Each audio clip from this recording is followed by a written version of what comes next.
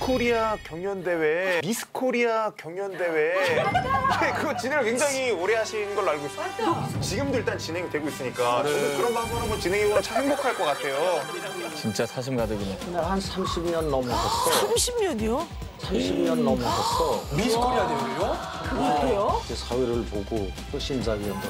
부러워요. 22번 미스 서울 염정아양. 연주백살이네, 와.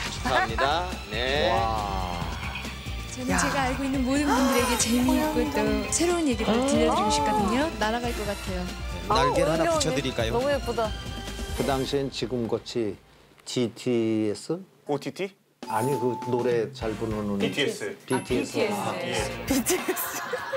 그런 사람들도 어린애들이 없고 유명한 스포츠 스타도 없고 근데 미스 코리아가 가장 큰 그런 그래요 그 시절에는. 프로야.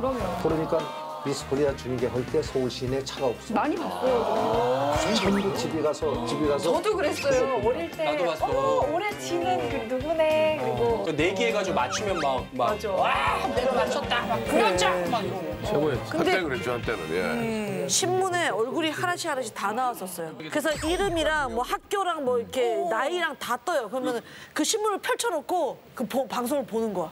그게 하나의 연중 행사였어요. 그 대회 날 다음이면은 그 진선미는 하루아침에 스타가 돼 있었잖아요. 예. 누구 1등, 진 이런 거 발표할 때 긴장감 딱 줘야 되잖아요. 그러니까 그 두 시간 넘어 하는데 그거 때문에 맞아, 사람들이 맞아. 다 보는 거거든 그쵸. 그죠. 그건 몇번 쪼아야 되는 거야 그치. 진짜 드디어 뭐 드디어 진 그러고서는 내일 가요 무대에 발표하겠습니다. 그러면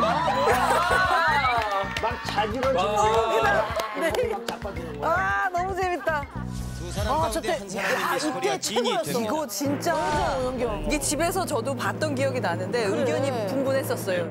1989년도 미스 코리아 진을 발표하기 전에 전년도 미스 코리아의 고별 행진이 있겠습니다. 만약에 34번이 되리라고 생각하는 분은 박수를 보내주십시오.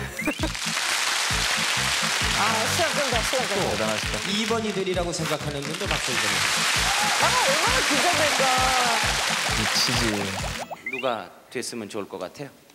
아 물론 마땅히 26번이 돼야죠. 26번은? 그러면 또 제가 가만히 안 있어야죠. 5번이 됐으면 좋겠어요? 이 사람 둘이 날 놀리나? 미스 코리아 진은 KBS의 김자영 아나운서가 나와서 발표하겠습니다. 그때 막 어, 짜증나 저 때부터 있었구나, 저 때부터. 그러니까 뭐 별짓 다 하는 거야. 그런데 그거는 내가 하고 싶어 하는 게 아니야. 미스 코리아 중계 방송이 끝나고 9시간 뉴스야. 맞아, 맞아. 9시 뉴스 전에. 뉴스 시간에 맞추어서 1분이면 1분, 30초면 30초 전에 끝을 내줘야 돼. 시간을 끌어야 돼. 그래야지. 그런데 무대 아래에 있는 floor manager는 어떤가?